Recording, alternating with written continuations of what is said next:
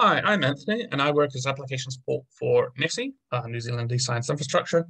And this is a recording of our standard uh, introduction to HPC workshop that we run regularly.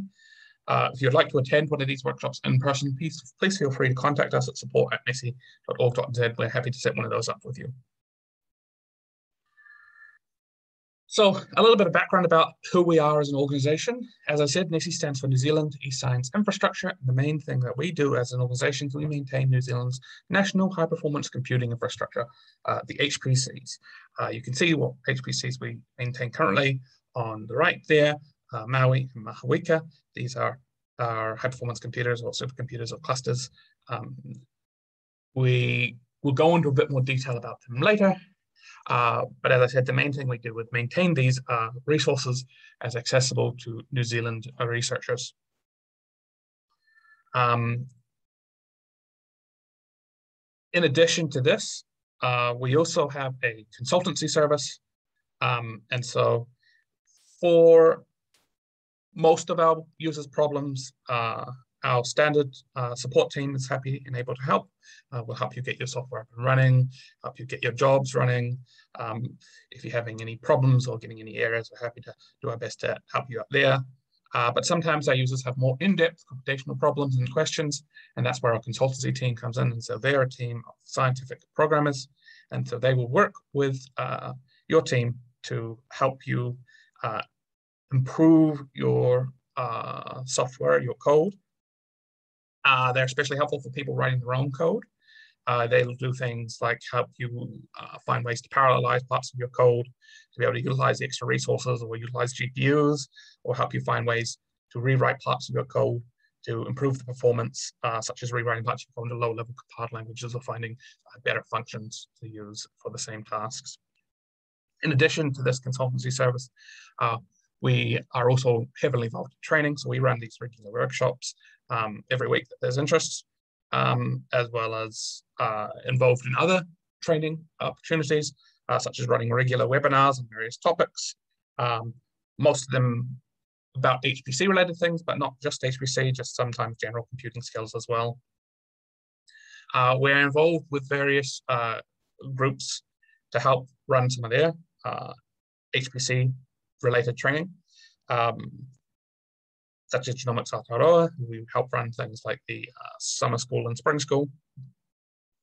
Uh, and in addition to this, we're also involved with the carpentries group um, to uh, help run carpentries all around New Zealand with various groups. Software carpentry, data carpentry, which is not just HPC skills, but also just general computing skills.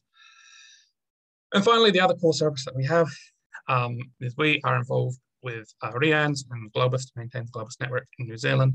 And this is a great tool and resource for users uh, on the HPC who have large amounts of data or data security concerns or data connection or connectivity issues that mean it's hard to transfer data through standard means. Um, and we help maintain that and you can get very high speed, very high security data transfer from the platforms via Globus.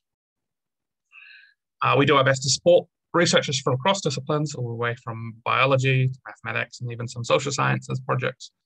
Um, on our team, we have a lot of people with different uh, backgrounds, including um, biology and physics and engineering. Um, and so hopefully, if you're having any kind of problems or questions, we might have someone on our team who can uh, help you out and offer some more in-depth advice on your problem. As an organization, uh, we are uh, funded through our collaborating institutions, those being uh, the University of Auckland, NIWA, uh, the University of Otago, Manaaki Whenua, and MB. If you're at one of these collaborating institutions, you can gain potentially free access from the collaborator pool, um, subject to some internal rules at your own institution. Uh, if you're not at one of these collaborating institutions, you can still be eligible for free access, uh, either by being a postgraduate uh, student at a New Zealand tertiary institution, you can get free access to the postgraduate uh, pool in that case, or by having your research being funded by a national uh, contestable peer-reviewed uh, grant or contract um, in New Zealand. You can also get free access via the merit pool. If you are not eligible under any of those circumstances, you will need to purchase a subscription. Um, but for all new users, we do offer the opportunity for um, small, uh, free, early allocations to be able to get started and test the platform. So um, you don't have to spend money just to try it out if you're not eligible for one of those other three uh, free portals. Uh, this is just an image of our team. Um, I'm just showing this because uh, we are located across New Zealand uh, in four of the major cities, Auckland, Wellington, Christchurch, and Dunedin. Um, and we're happy to uh, support you wherever you are in New Zealand uh, via email or via Zoom meeting. But if you're at one of those four uh, physical sites and you're able to get to one of our locations, uh, we're also happy to set up in-person meetings uh, to discuss any problems that you might be having and help you out. So what exactly is high performance computing and how is it different from standard computing? So there's the obvious difference, uh, which I'm sure you're aware of, which is just the scale. Uh, your standard laptop or desktop might be a dual core or quad core with uh, four, eight, or 16, or even 32 gigabytes of RAM now these days. Um, our high performance computers are, are made up of what are called nodes. So a single node is essentially its own computer, um, the way you think of it. Um, and our nodes on our platforms are uh, 36 or 40 CPUs. In general, there's some outliers, but those are the standard sides, and they each have about 100 gigabytes of RAM. And so uh, even a single node compared to a standard computer is much larger. Um, but in addition to this, uh, our high performance computers are connected to each other via an interconnect. And so this interconnect is uh, much, much faster than if you just plugged a whole lot of computers together with Ethernet cables. And so this is another major difference between high performance computers and standard computers is that the connection between the nodes, the hosts, the C computers is much more performant uh, in communication than if you just plugged a whole lot of computers together. Um, another major difference between standard computing and high performance computing is uh, the fact that the software and hardware infrastructure of our high performance computers is purpose built to be able to take advantage of uh, running parallel code, so utilizing all the extra CPUs and memory and other re uh, resources available. And so what this means is that if you're doing any kind of work that's able to utilize uh, multiple CPUs, you'll generally find it runs more performant on the high performance computers than on your local machine.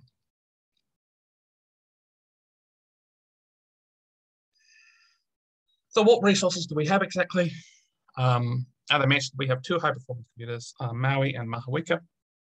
Uh, of these two, Mahuika is our general machine, which most projects will end up on. This is most likely the platform that you're going to end up on if you get an, uh, an allocation with us, project with us. It's got about 8,000 CPU cores at the time of this recording. Um, a standard, and about that's spread across 200-ish nodes. So a standard node on Mahuika is 36 CPUs and three gigabytes of memory per CPU, so about 100 gigabytes of memory per node. In addition to these standard nodes, there are some non-standard nodes which have 480 gigabytes of memory, as well as two 1.5 terabyte memory nodes, a four terabyte memory node, and a six terabyte memory node. And in addition to this, we have some uh, several GPU ancillary nodes, which include uh, some Tesla P100s and some A100 nodes, uh, which are quite new at the time of this recording.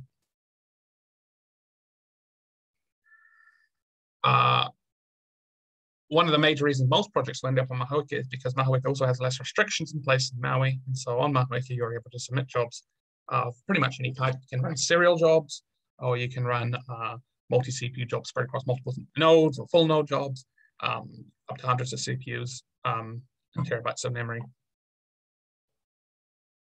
as well as running jobs for up to three weeks. Maui, on the other hand, um, is our supercomputer in practice. It's uh, got about 18,000 cores uh, spread across about 450 nodes. A standard node on Maui is 40 CPUs, and it's split between either 90 or 180 gigabytes of memory. There are some ancillary nodes as well that you can get access to uh, with some large amounts of, larger amounts of memory, 400 gigabytes of memory, or some GPUs, again, Tesla P100s. However, if you're going to be doing any significant amount of work on those ancillary nodes, we'll generally grant an allocation of Mahuika instead, or as well, in the case you do need an allocation of both. Now, Maui is built in mind with running very large, um, highly parallel types of code. so work that requires multiple nodes and works across multiple nodes using potentially hundreds uh, or even thousands of CPUs. Um, and so what this means is that we put some more restriction in place on Maui to make it easier to run these types of workloads. And so on Maui, unlike on Mahuika, you are restricted to only running full node jobs. So you cannot request a, a serial job except on some of the ancillary nodes. Um, but generally you can't request full uh, anything, less, anything less than full node jobs. Um, and so if your work can't be divided into full nodes, full Maui nodes, which are 40 CPUs each, so 40, 80, 120, etc. CPU requirements. It's probably more suitable to run on Mahuika. Uh, in addition to this, there is a 24-hour wall time limit on Maui, um, which means that your job either uh, your job has to either finish within 24 hours, or you need to checkpoint your job in such a way that it finishes after 24 hours and can restart and continue on from where it left off. Now, these restrictions in place are made to make it easier for those very large, uh, highly parallel jobs to, to queue on Maui. Uh, because if you think about Mahuika, where you can run a single CPU job or 10 CPU job or spread your CPUs across all the nodes, uh, and you can run it for three weeks long. If you want to run a very large job, generally you're going to want to run it on as few nodes as possible because there are communication overheads for running across nodes. And so running on fewer nodes will make a job more performant. And so the resources you need for your large job might be technically available on Mahuika, uh, but they generally won't be available on as few nodes as possible because one node might have one CPU being used by this three week long job, another node's got a few CPUs being used by these other jobs, etc., etc. And so there might be more than enough CPUs for your job to run, but if you want to enforce it only using as few nodes as possible, uh, you're going to have to wait much longer in the queue for those nodes to free up entirely by having the restrictions of only uh, full node jobs on Maui and 24 hour wall time limits, uh, what this means is that we cycle through all the nodes within 24 hours on Maui, so they free up uh, faster. So high priority jobs can get up and running faster. Uh, and by being full nodes, you never have to worry about a situation where there's enough CPUs available for your job, uh, but because they're spread across multiple nodes, you're gonna have to wait longer and it reduces the amount of wastage in that case when, when it comes to queuing very large jobs. And so all of this means that Maui jobs, um, if you're trying to run very large jobs, they tend to queue faster and run faster on Maui. Uh, on top of this, Maui has a faster interconnect and faster CPU, so uh, jobs will be more performant in general on Maui, though it's faster read-write in Mahuika. Um, some jobs will be better performant on Mahuika, um, but it means that if you're doing those very large MPI or very large highly parallel type jobs, Maui is generally the best suited platform. Between them, you can see the storage. Uh, Maui and Mahuika have a shared storage system between them. And so most of you will only have an allocation on either Mahuika or Maui, uh, but there will be a minority of project teams that have an allocation on both platforms because some of your work might be suitable for one platform or the other, some of it might be suitable for the other. Uh, in the case that applies to you, uh, by having shared storage, that's very convenient because it means that anything you generate on Mahuika is accessible on Maui and vice versa because there is one shared storage system between them.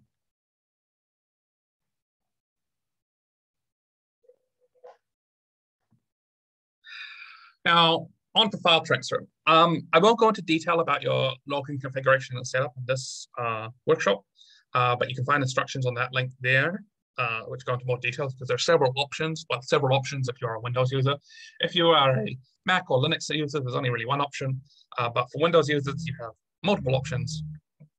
And so I'll just go into some of the details about file transfer for um, you, depending on what operating system you're using. So for Mac Linux, and those of you using the Ubuntu subsystem for Windows on a Windows machine, which is our most recommended SSH client for login configuration, uh, transferring files is relatively straightforward. Uh, in that login configuration, you will set up an alias, uh, either Mahuika or Maui, or you'll set up both, and depending on your platform, you will have an allocation on, you use the one that you have an allocation on. And that alias will be used in the commands. And so we can see with this scp command down here, we use scp file name, then mahuika colon, uh, and then the path to the uh, location of the file uh, we want to move the file to on Mahuika. And that will transfer uh, the file. Uh, the Mahuika alias can be interchanged with Maui. Uh, you'll, you'll use the alias for the platform that you have an allocation on, as I said. Transferring files from the platforms is just the reverse essentially. So SCP, the alias, in this case, my Mahuika colon, path to the file on the platform, and path to wherever you want to move it on your local machine, and that will transfer the file to your local machine in that location.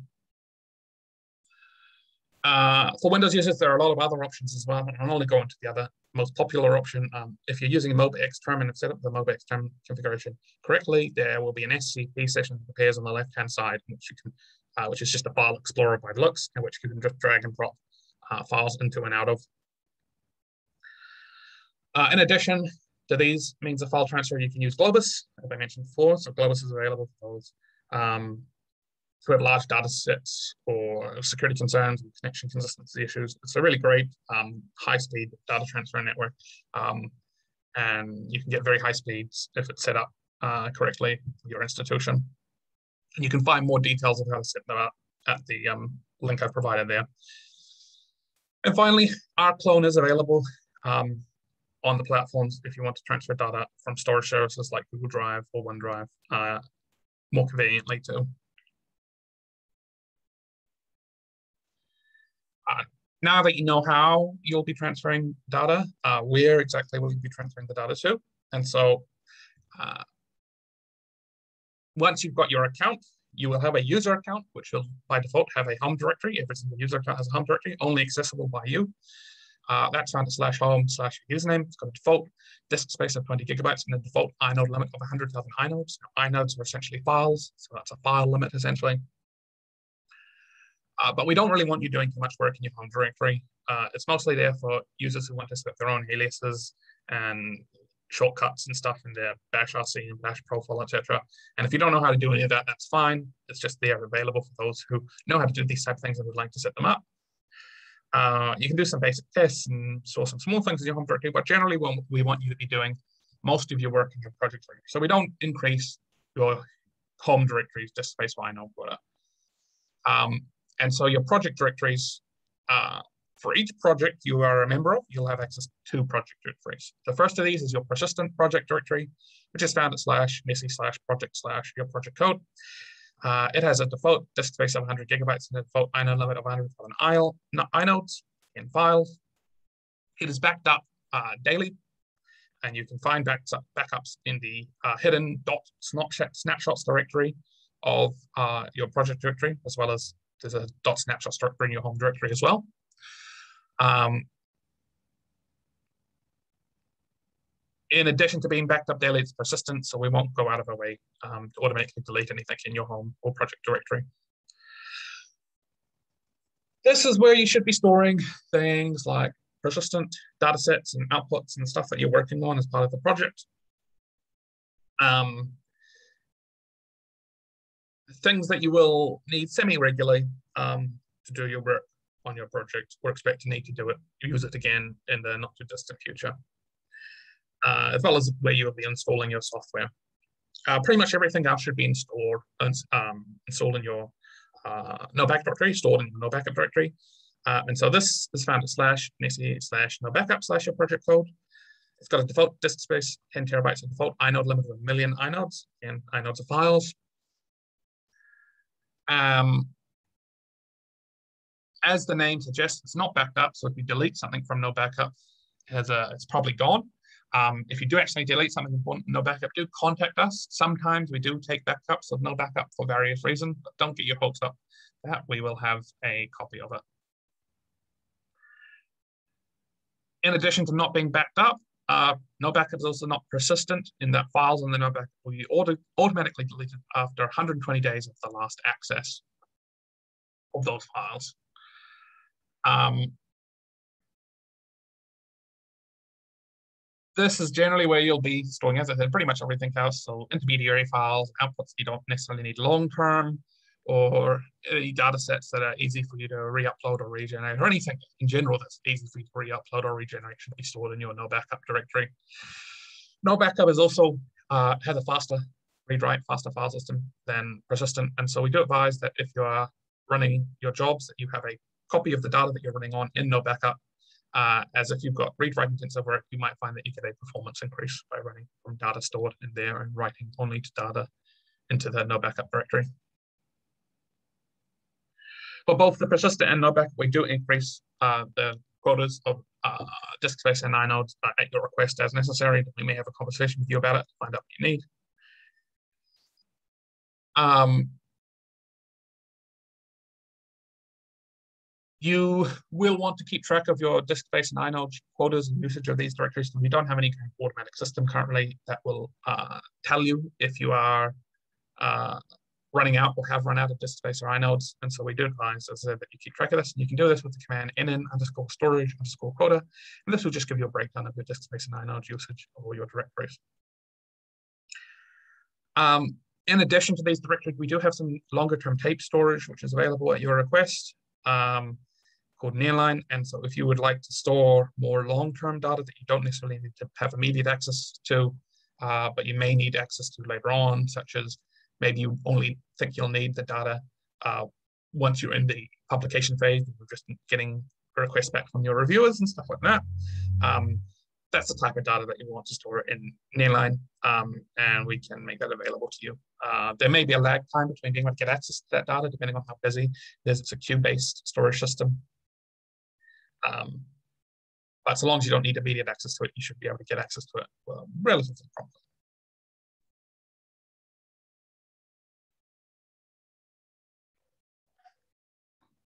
Now backtracking a little bit to uh, my statements about the major differences between standard computing and high performance computing. And another major difference between standard computing and high performance computing is how you're actually doing your work. So on your local machine, you're probably used to a, a heavily GUI based environment where you uh, boot up your computer's operating system, your Windows, your Mac, or Linux. And it opens up with the GUI of the operating system. You navigate that GUI using the mouse to find maybe an icon on your desktop uh, for another piece of software that you want to use, double click it, open it up, then you can interactively run commands in there, and that software will automatically, uh, as you run these commands, requisition resources from the operating system to run those commands um, and then put them back when it's done. You can do this to a degree on the high performance computers. So on our login nodes, you're able to do these type of interactive jobs. Uh, and you can even use exporting forward GUIs to your local machine. Uh, in addition to this, we also have uh, Jupyter notebooks available uh, online where you can access the platform via the Jupyter notebooks uh, via your browser and do some interactive and GUI-based work. However, most work won't be able to be done this way. You will be relatively limited in the amount of computational resources you're able to access by running jobs through this means. If you want to do anything computationally intensive, you're going to have to be running what are called batch jobs or Slurm jobs. And so on our system, we have a, a system called Slurm, which is our queue, queuing system. And essentially you will write a batch script, Slurm script, which is a plain text file. We specify everything you want, everything you want to do. So for example, your plaintext file might say, I want X amount of CPUs and Y amount of memory for Z amount of time. And then I want to run software A with script, uh, I want to load software A and run script B with software A. That's your plain text files in the gist of it. Uh, and you'll submit tap to our schedule. It goes into the queue. Uh, once it gets to the top of the queue, Slurm reads it, requisitions all the resources you specified for it, runs everything you told it to run, and then finishes and produces outputs um, based on what you've done inside the job, as well as just a general output file. That is the general mean that 99% of all the work on the high performance computers uh, will be done. And it's uh, very different from what most of our users are, are, used to. It's It can take a little bit to get used to, um, but hopefully with it, uh, through this talk, it'll be a little less scary to you. And if you have any questions or problems, um, we're always happy to help. Um, and so we'll look at a few examples of, uh, soon on how to do those. Before we do that, we'll take a look at some uh, commands. So our HPC is a Linux system, and so you will be expected to have some basics of uh, Unix, uh, or shell, bash, whatever you want to call it. Um, I won't go into the details of specific bash commands here that you'll need to know, uh, but at the bottom of the page, you can find a link to our Slurm Unix cheat sheets, uh, which you might find useful. And in addition, if you're a very new beginner to Unix, the shell command line, um, I'd highly advise taking a look at the software carpentry lessons available at the link provided at the bottom of the page as well. Um, you don't need too much. You only need the very basics of uh, the Unix shell of things like file uh, navigation uh, file and directory navigation, creation and management. Um, and you can find those in the first three lessons on that software carpentry page, which is about 45 minutes. Um, but again, if you have any questions or problems, do contact us. We're always happy to help. Well, I will go into the details on some of these more important Slurm commands. And as I said, you can find more of both the Slurm and Unix commands that are important on the cheat sheets provided at the bottom of the page. So first of these commands is sbatch, probably the most important of the commands. Uh, this is how you submit your jobs to the queue, to the scheduler. So you've made your plain text file. In this case, we've called it example job.sl. The extension doesn't matter. I tend to add an extension.sl on my own slurm slash bash scripts just to make it easy to differentiate them, but it doesn't matter. You can call it whatever you want. And so example job.sl is a plain text file. And in it, as I said, it's got a script, plain text script that says, I want X amount of CPUs, Y amount of memory for Z amount of time, loading software A and then running script B with software A. And, and so you submit that to the schedule, it goes into the queue, etc., as I mentioned before. If you submit a job and you realize that you want it canceled, even if it's already running, you can use the command S cancel on the job ID kill the job or remove it from the queue before it starts. And you can get the job ID either from either of the next two commands, sq and scount, both of the column that says job ID. sq SQ by itself will show all the jobs that are in the queue on that platform, which is generally not particularly useful to our users. And so you'll want to use SQ dash lowercase u followed by your username, uh, which will show you then only your own jobs that are running and in the queue on the platform. Once a job is finished though, jobs are removed from SQ. And so you can't use it to look back at historical jobs. You can only look at actively running or queued jobs uh, and allow you to see, you know, the reason why that they're queued, such as resources or priority. The next command is saccount, and saccount, um, apart from sbatch, is probably the most important command here.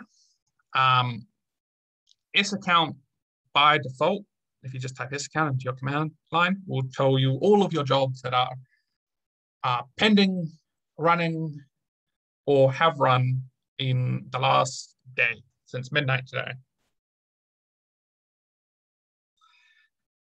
You can look at older jobs by using the flag dash capital S, so saccount dash S followed by the month, year dash month dash day, and that will show you jobs since that date. And the reason this account is really important because this account gives you information about the resource usage of your jobs after they have run. Uh, so the important columns are the elapsed, which is the elapsed time, how long the job ran for, the alloc, which is the number of logical CPU cores your job had, um, I'll explain more details about the difference between logical CPU cores and real physical CPU cores a bit later. Um, but suffice to say for now, for every actual physical CPU core, there are two logical CPU cores. So I mentioned that the nodes on Mahuika generally have 36 CPU cores. They have 30 physical CPU cores, which is 72 logical CPU cores. And I'll explain that um, later, what I mean by that. Total CPU is the total amount of logical CPU time spent working on the job, and then the max RSS is the maximum memory used at any point during the job. And the reason these are important is because you want usage data for your job so you can do something called job scaling.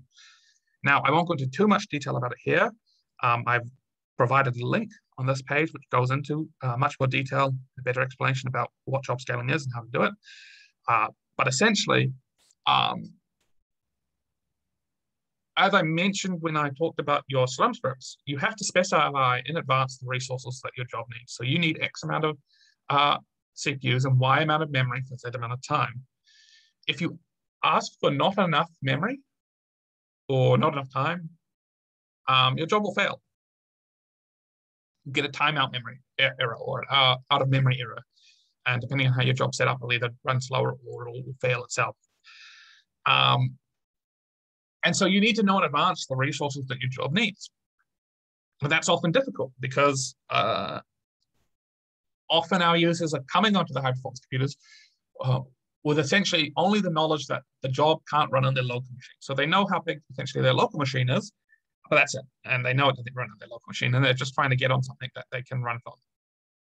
And so that's where job scaling comes in. And so job scaling is you start off with a small scale job, ideally something that can run on your local machine, Uh, by what I mean by small scale jobs is, for, uh, for example, a subset of data. So if you have a data set with a million columns and rows, you might only use, you know, 1,000 or 10,000 rows or something like that. And so it's a subset of data, a much smaller subset of the data that you can run your script, your analysis on. And as I said, hopefully that subset, that uh, small scale job runs on your local machine. And so then you have a starting point. You know how much resources your local machine has. And so you can then try and run that on the high performance computers using the resources that you have in your local machine. And then you use this to count to see how much resources the job used. And then you can start scaling up the job.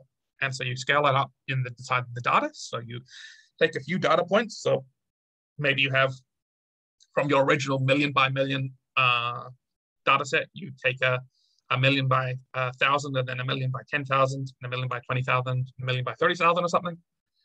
You have a few data points and then you run all of those and you see how they compare. And you do the same uh, by increasing the number of CPUs and seeing how the performance changes uh, when you increase the number of CPUs. And so you expect when you run your parallel code, adding more CPUs speeds it up, but it probably won't speed it up in a linear. Uh, in addition to speeding it up, it's probably going to increase or potentially could increase the amount of memory that your job requires. And so you'll want to keep track of both the, the runtime and the memory usage of your jobs as you scale up both the size of the data and uh, the number of CPUs your job has. And so you'll do a few scaling tests like this. And as I said, you go into more detail on that support page, but essentially what you're doing this for is to find an optimal amount of CPUs for your job and the and how and extrapolate out the memory requirements and wall time requirements of your full-size job with the optimal amount of CPUs. That way, you have a relatively good estimation of the resource requirements of your full-size job before you submit it. You don't have to worry about, or you'll have to worry less about the possibility of your job either asking for not enough resources and failing because it ran out of time or ran out of memory, or asking for too much resources and queuing for much longer because you're asking for a lot of resources you don't need and then potentially wasting those resources depending on what they are. And so scaling is a really important thing that you want to do and I highly advise taking a look at the support page a bit more in depth. Uh, the final command I'll mention isn't actually a Slurm command. It's one of the ones we created, but it is a very useful one. Uh, nn underscore para underscore usage, um, followed by your project code. And that'll just give you a breakdown of your usage history for the last year on your project. Um, on a monthly breakdown, which is just convenient for keeping track of those things. Finally, I'll mention for those of you who uh, don't have a lot of experience using Unix, uh, the man command is a fantastic command. You can use it on pretty much anything or any command. Uh, man stands for manual. Put it in front of sbatch in this case, man sbatch, and it'll give you uh, the manual for that command and show you all the various different options and stuff available for that command and how to use it. So now we'll look at some examples. So all of these examples, uh, they are on Mahuika, um, but they do all work on Maui. Uh, I just use them on Mahuika because it was convenient when I was setting up these test jobs. So this is, as I mentioned, that plain text file, that bash script, that Slurm script, that is what you submit to the scheduler, um, telling it what to do to set up your job and run it. And so the the first line, the top line, uh, hash uh, hash exclamation slash bin slash bash dash e. Uh, you don't have to worry about too much. It's essentially specifying the language. Uh, just make sure it's at the top of all of your Slurm scripts. These next three lines, they all start with this hash sbatch. And so this is to indicate that they are sbatch directives, and they are used in the Slurm job to set up your job. And so dash dash job name sets up what the job name is. And so when you look in your in the queue, either with squeue or sacct or in historical jobs, that's what it'll be called. Uh, you will want to make them named meaningfully because you will often want to look back at historical jobs. And if you name all your jobs meaningfully, it'll make it easier for you to look back and figure out what job is what. The next line, dash dash time, uh, equals zero zero colon zero one colon zero zero. That's in units of hours, minutes, uh, seconds. That's one minute job. And that's how much wall time we want for our job. That's the maximum amount of time that this job will run for. And if it hits that one minute wall time limit, uh, it will fail. So true, do try to be accurate with that, that request as well. A good rule of thumb is to ask for maybe 20% more wall time than you're expecting to need. Uh, the next line, dash dash mem equals 3000. Uh, this is the memory of the job in megabytes. So we're asking for 3000 megabytes and we'll be given 3000 megabytes of memory on this job. We haven't specified a number of CPUs, and so we're going to default to uh, only one physical CPU, which is two logical CPUs. And so this job, uh, when it gets in the queue, we'll get, uh, when it gets off the queue, it's going to get one physical CPU, 3000 megabytes of memory, and have those ratios for one minute. And then it's going to run through everything we've told it to, all the commands we've told. In this case, the only command we've told it to do is run pwd, uh, which is a basic Unix command that just prints the working directory. And so when we look at the output file, we can see it's printed the working directory. And that's just a, a very basic serial job, but we'll base all the other scripts on this basic serial job. But as I said, like that's a serial job. Um, but generally, if you're coming onto the high performance computers, you want to do some form of parallelization. And so most or many scientific softwares are able to utilize different forms of parallelization. We'll look at some of the, uh, the means by which this can be done uh, over the coming slides. On the platforms, the three main types of parallelization you'll see are multi-thread, its OpenMP example, uh, distributed or MPI, and then uh, independent jobs and job arrays. So job arrays aren't really a form of parallelization, uh, more of a way of conveniently doing the same thing lots and lots of times. I'll go into more detail about it later. Um, but it is tangentially related and it is very useful. So let's take a look at the first type of parallelization, uh, multi-threading. So multi-thread is a method of parallelization where you have a master thread that forks off into a specified number of slave threads, and the master thread will then divide all the work to tasks for each of these slave threads and itself. They'll each run uh, independently on their own CPU. Uh, but they will be in a shared memory environment on the same node. And so they're able to communicate to each other via that shared memory environment, and they're able to read and write to the same things. And so each of them have their own tasks. And as you can see from the little diagram at the bottom there, um, master thread splits off, they all do their own things, and then they come together for a serial portion on the master thread again, on the master CPU, where the master thread will then potentially break up the work further, uh, available to more or less or the same amount of CPUs and slave threads. They'll all do their own thing and so on and so forth until the job is done. Multi-threading allows you to utilize multiple CPUs um, on a single node, uh, but it does require those CPUs to be on a single node in a shared memory environment. And so it has the upside of because it's a shared memory environment, if you have large data sets, uh, for example, you only need to uh, read that data into memory once However, the downside is that you can only utilize as many CPUs as there are available on that single node, at least with multi-threading alone. And so if your work is very CPU bound, uh, you might find yourself uh, being limited in that fashion, and you might want to use another form of parallelization. And so now looking at the example script, um, again, pretty much all the same as our serial script. The difference is here is we've added the extra line dash dash CPUs per task equals four. And so this is the number of logical CPUs per task, the number of logical CPUs in a shared memory environment on our job.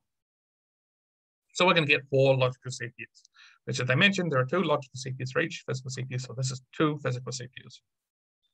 Uh, the command, you don't need to worry about it at all. It's just there to show you with this output here, uh, it prints the affinity list. The affinity list refers to the uh, logical CPUs or CPUs available on that node. And so we can see that we have access to four of the CPUs on that node, CPU 7, 9, 43, and 45.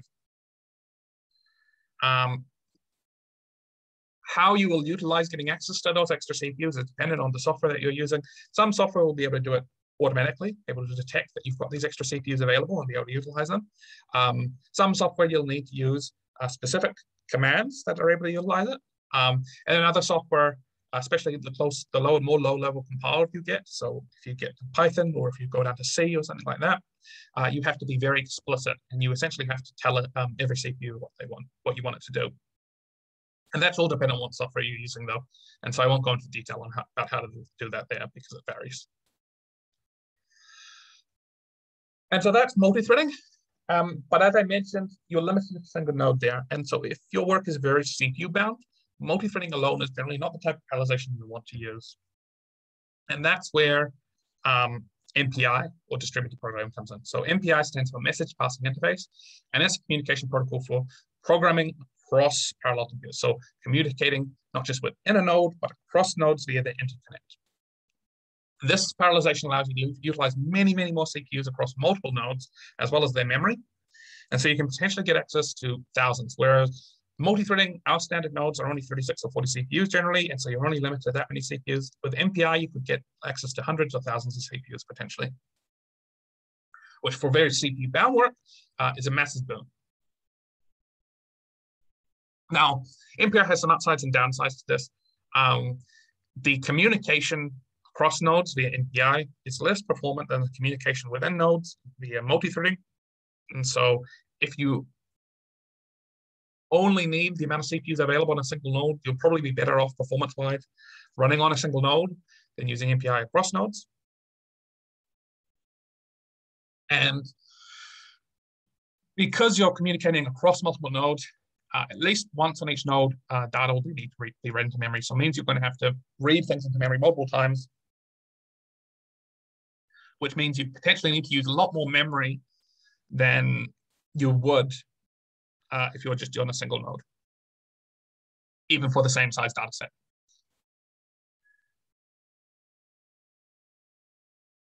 But the other thing, the big upside is that access to all those extra CPUs means you can often get uh, CPU bound work done much, much, much faster.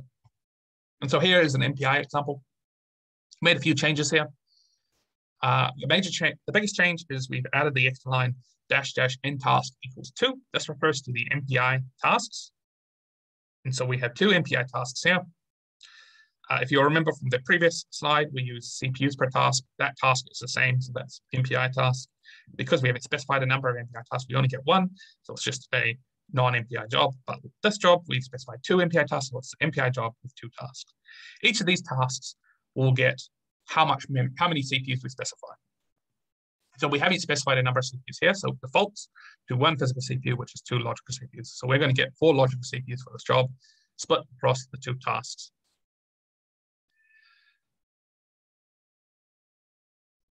Another change we made is that we're no longer requesting memory was just dash dash mem. We're using dash dash mem per CPU. And the reason we're using dash dash mem per CPU is because we unless we force a certain number of tasks onto each node, we don't necessarily know how many tasks are going to be on each node. And dash dash mem in reality refers to the memory per node. And so if we have our two task job and we use dash dash mem, if both of our tasks ended up on separate nodes, each task would get however much memory we specify with dash dash mem.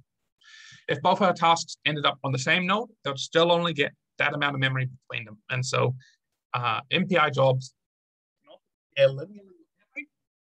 relatively linearly with memory requirements.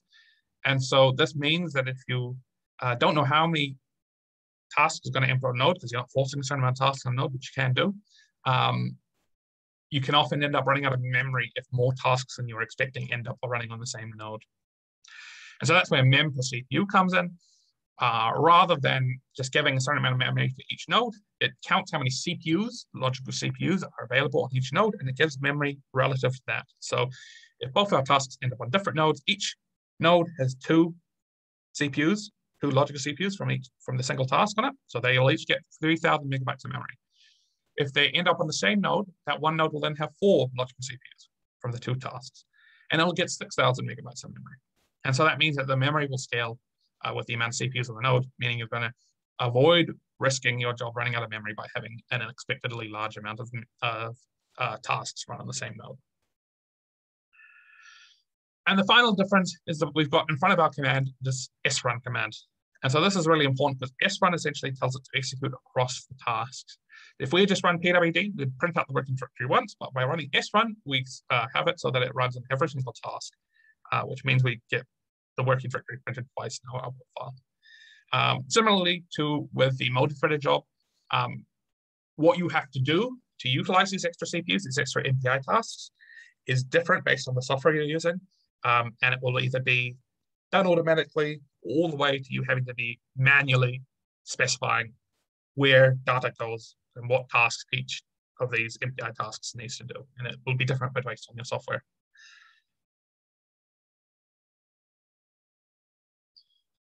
And so I've talked about logical CPUs and physical CPUs a little bit now. Um, and so now I'll explain what the difference is and why there is this difference. And it all comes down to something called hyperthreading being enabled on the platforms. And so the easiest way to explain hyperthreading is by using an example. Let's say that you have a two physical CPU computer, just a standard two-core computer, what you're used to thinking of as a, a dual-core computer, right? Now, if you wanted to run a multi-thread job on that dual-core computer, generally what you would do is you'd run one thread on each of these CPUs. So each CPU would get one thread. But the thing is that these threads can stall. They can stall for various reasons. Maybe they're waiting on something to be read into memory, or maybe they're waiting on the other one of the other threads to finish some calculation. Any number of reasons. But the point is that threads can stall, and if a thread stalls, in this case, then the CPU that that thread is sitting on is idle. That's just wasted CPU time. And we don't really want wasted CPU time. And so one way, way around this is that you can assign a greater number of CPUs to a lesser number, a greater number of threads to a lesser number of CPUs. So oversubscribe your CPUs, essentially.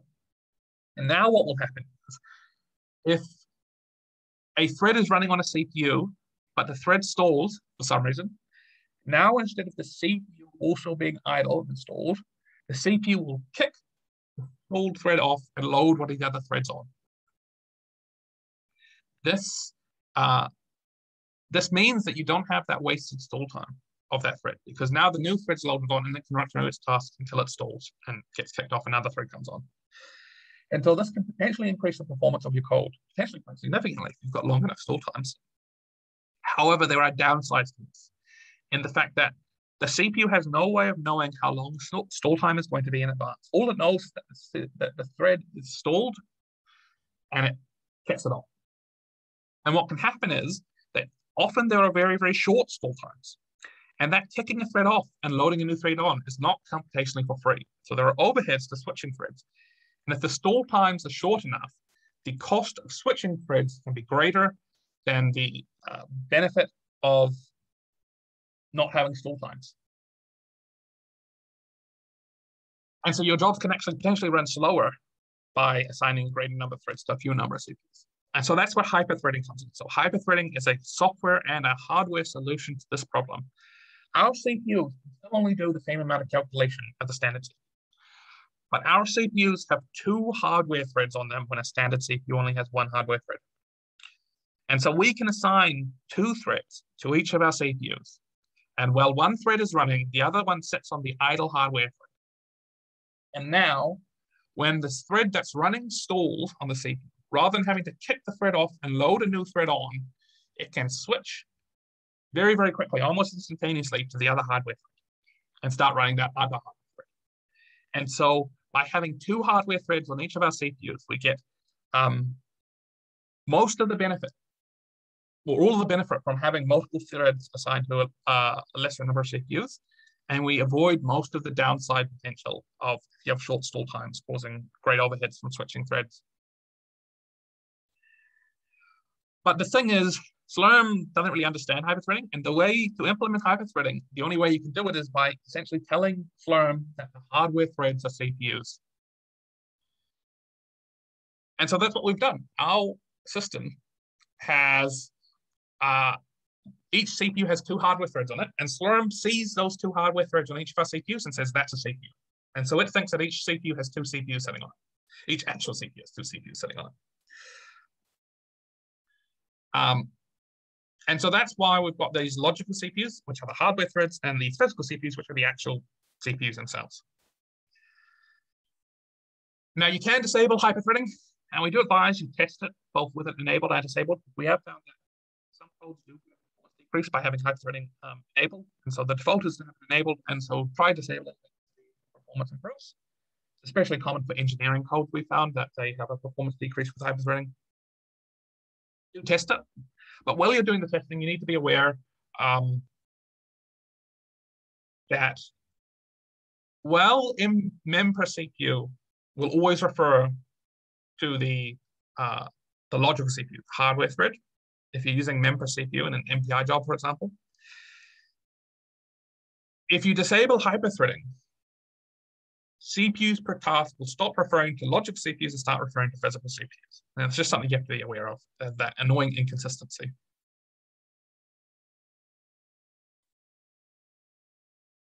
So I talked earlier when I talked about S counters that you'd want to do these scaling tests. And uh, the big reason why you want to do those scaling tests that I mentioned earlier is because of scaling behavior. It's the fact that almost no parallel work will scale perfectly linearly. With the exception of stuff that's not really, really parallel, which is embarrassingly parallel stuff, it's no one, but essentially when you just need to run the same thing um, many, many times, and you can divide the problem um, as many as times as you want and solve them all independently. With that exception, pretty much all the work, all the parallel work you're going to be running on the platforms is going to scale non-linearly. So that means that if your data is, say, 10 times bigger than your test job, it's probably not going to take just 10 times longer to run. And if you double the number of CPUs, the job's probably not going to run twice as fast. And so you need to be aware of the scaling behavior and that you do those scaling tests um, because of this. And so we'll take a look at a couple of the major reasons why the scaling behavior occurs. This is just two of them. There are a lot more.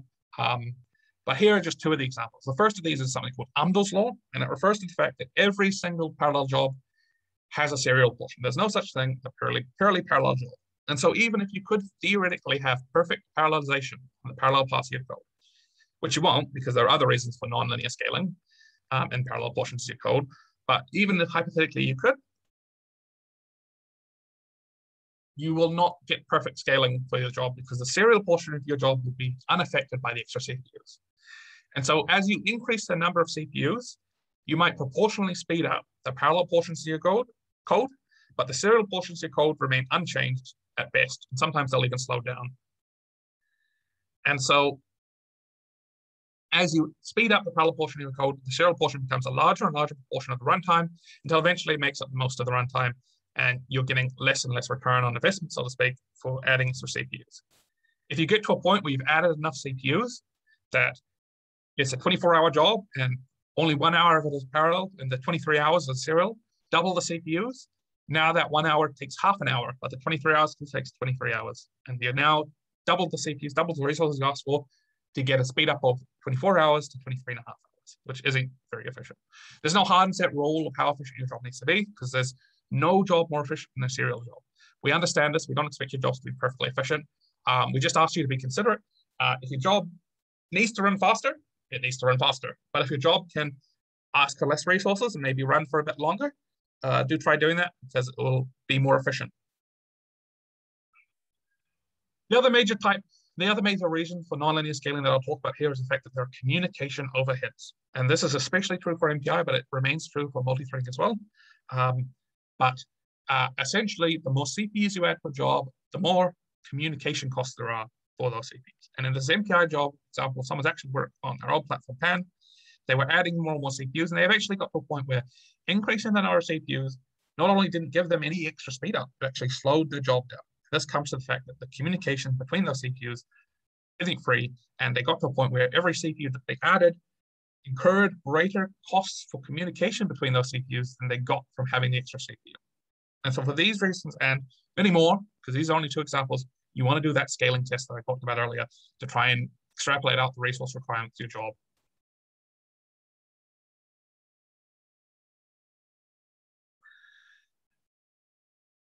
Now we'll take a look at the uh, final type of parallelization, which isn't really parallelization. Uh, this is job arrays, independent jobs. It's essentially just, as I said, a way of submitting the same thing lots and lots of times.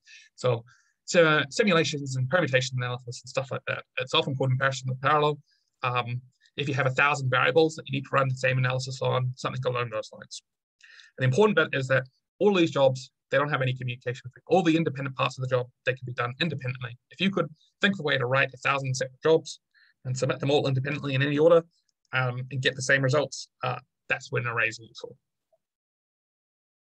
So let's, let's take a look at an uh, array job example. Um, this, in truth, is a serial job. there's nothing special about it. The only thing that we have here is that it's got this array, dash dash array one to two. This is essentially saying how many times I want to submit this job at the range, so to speak. So I've, I've used one to two, so it's going to submit two serial jobs, two of these, two copies of this job. The difference between these two copies is something, is an environment variable that will appear in each of the jobs. And it's called the Slurm array task ID. And that Slurm array task ID environment variable will be one of the numbers from the range that we chose in the array um, directive. So in this case, it'll either be a one or a two. But only one of them will be one and only one of them will be two. So you can see in the output files at the bottom, they both printed the working directory, but they both also printed out different array task IDs. They go back different array task IDs. One of them echo back one, the other one echo back two. And so what you'll do is you use that iterator in your scripts. And so, for example, rather than having a for loop in your script that says for i in one to the length of my uh, my vector of variables, run the analysis on each of these um, instances in this vector of variables. You'll instead say, run the analysis on the nth variable, where n is the Slurm array task ID that I pulled from the environment. And now you'll get a, in let's say it was an array of a thousand, you'd get a thousand jobs, each with a different Slurm array task ID, each which would pull, pull a different number for the Slurm array task ID into the environment of the script when it starts running, that will then use that number as a different iterator in your vector of variables and run that analysis on a different variable in your vector. And so this means that it's a really convenient way of essentially doing lots and lots of the same thing without having to do internal for loop in your script and allows you to utilize many, many resources um, at once. So rather than having one really big, really long job that's a for loop that's just cycling through every single iteration, you'll have a thousand really tiny jobs that only do one iteration each, but they're all doing a different iteration. And so that's really useful and really convenient for that type of work.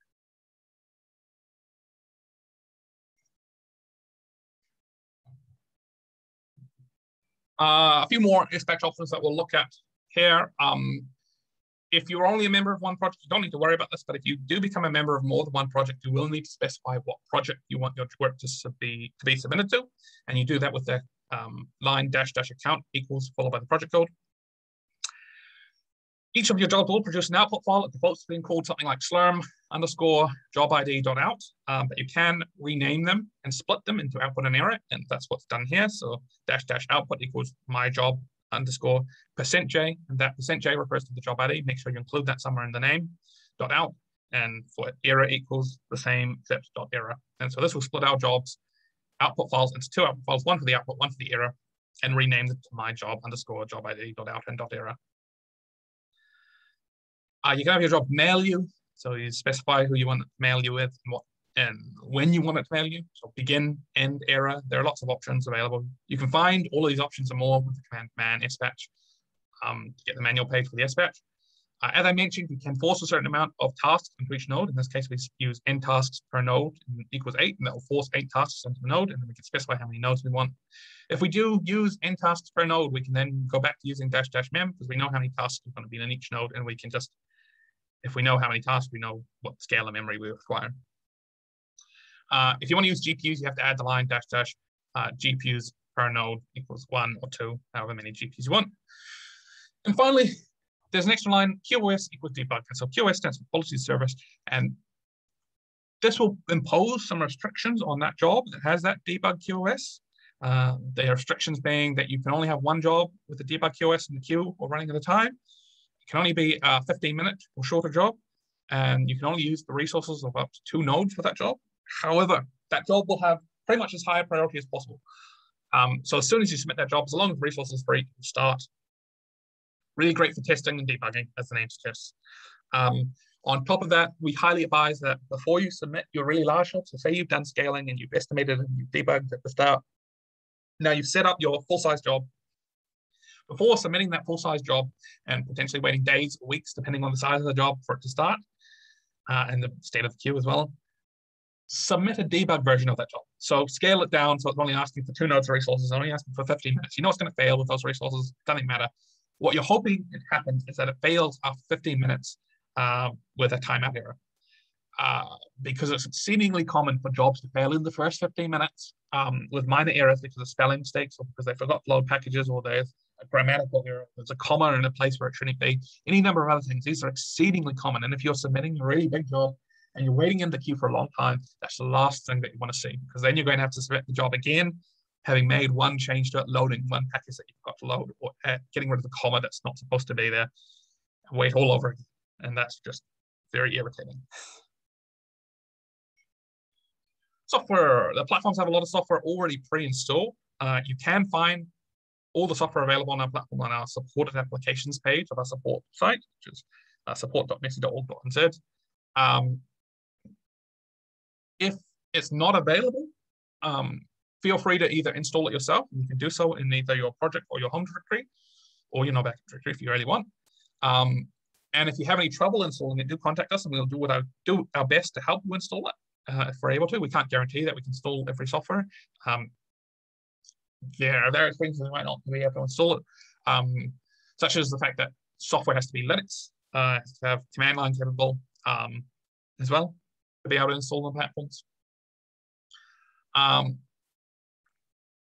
you can, as I mentioned previously, do a bit of visualization interaction type work, um, either using exporting on the login nodes or using Jupyter. Uh, License-wise, we don't provide the licenses generally.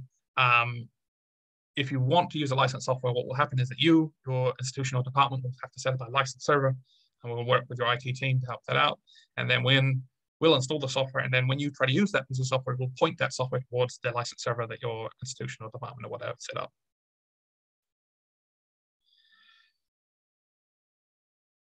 Here are some important environment module related commands. Um, and so I mentioned you can find the supported applications on the support all the software on the support application page of the support site. You can also use the following two commands, either module spider followed by the module name or module avail dash s followed by the module name to search the stuff uh, software available on the platform itself. Uh, unfortunately, Module Spider only works on Mahuika, and so that's where Module Avail comes in, because that works on both on Maui and Mahuika. Module Show gives you more information about the module.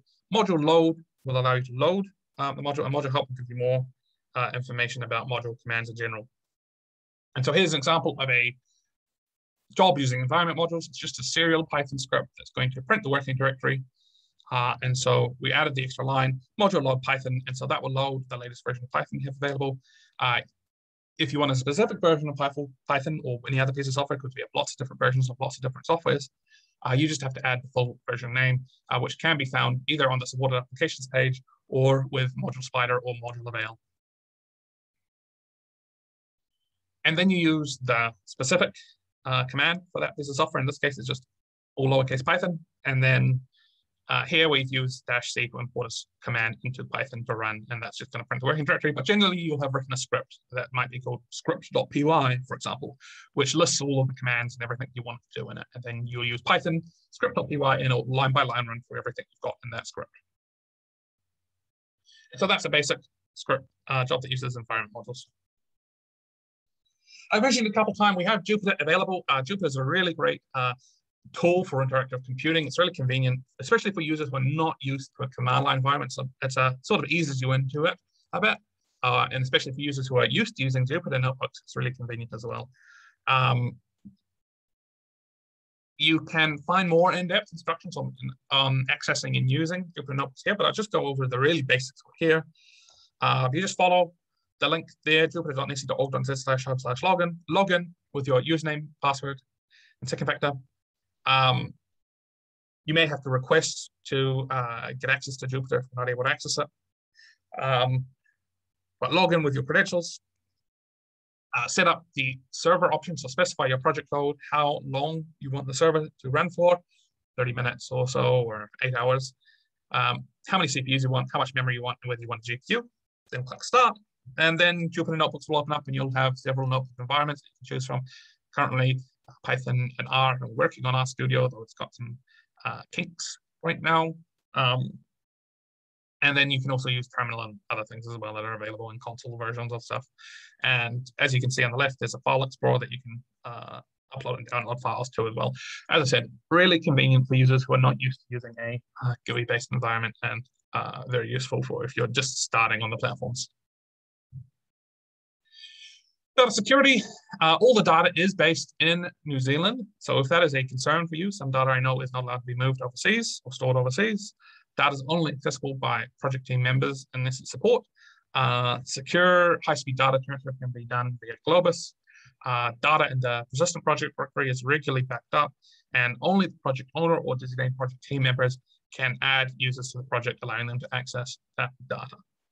Um, this is our default data stance for new projects. However, if this is not suitable for your project, do contact us and we can see about uh, meeting your unique data security uh, requirements. We might not be able to meet them, uh, but we can start a conversation. We'll do our best to help you out. Uh, general best practices. Uh, essentially, this boils down to this is a shared resource, a shared environment, and we want to get as much use out of it for everyone as possible and have as many New Zealand researchers uh, do their work as possible. So if you're being very wasteful with the resources you're asked for, asking for, um, those are resources other people can't use. And so um, try to be considerate, try not to over ask too much for both memory and uh, wall time. It's okay to ask maybe 20% more than you expect to need just to avoid your jobs failing without a memory or timeout error. Do need to be accurate with CPU. There's not really any reason for you to ask for more CPUs than you need. Um, if we do find that you're running work that's either being being very wasteful or hogging the login nodes, um, which are really only there for uh, basic testing and setting up scripts and submitting jobs. We don't want anything computationally intensive there. But if we find you doing either really, really inefficient work or hogging the login nodes, uh, we may kill your jobs or processes. If we do decide to do that, we'll send you an email explaining why we've done it. Um, or we may just contact you and ask about it and say, why are you doing doing this? Um, but just be advised, be considerate. It's a shared resource. We're trying to help as many people as possible. And if you're being wasteful, those are resources we can't give to someone else. Finally, how to ask a question. Um, if you have any problems, um, do contact us at support at nesi.org.nz or go to support.nesi.org.nz, which is the support page, and you can contact us through there as well. Um, and when you do contact us, please include as much information as you can, um, because we just want to avoid as much as possible having to have back and forth between you or having to search for things and find stuff. We want you to just provide all, all the information we need so that we can look at it, figure out what the problem is, figure out the solution, and then send you how then resolve it for you. And so if you include as much information as possible, um, we can hopefully resolve your problem faster. So for example, if your job failed, if you include like the things like the job ID, the Slurm file path, what command or commands you used, and the error message, it'll just make it so much faster for us to help. Finally, I'll mention again, we have our consultant service. Uh, if you think you might be interested, please go to this link here and take a look. Uh, and then if you are interested, contact us at support.nesi.org.nz, support at. Um, and we can put you in touch with our consultancy team to discuss whether a consultancy is right for you. Um, we consultancies are at request, it's not automatic, and it's not guaranteed you'll get one. Um, but if you, uh, especially if you're writing your own code, they be really, really helpful. Right, and that is the talk. Usually we'd have question and answer, but because this is a recording, uh, that's that. If you would like to have attended in person one, or you'd like to um, ask us some questions, uh, please feel very free to contact us at support at nesi.org.nz. We're happy to set up meetings or just talk over Zoom or talk uh, via emails, anything that you need. Have a good one.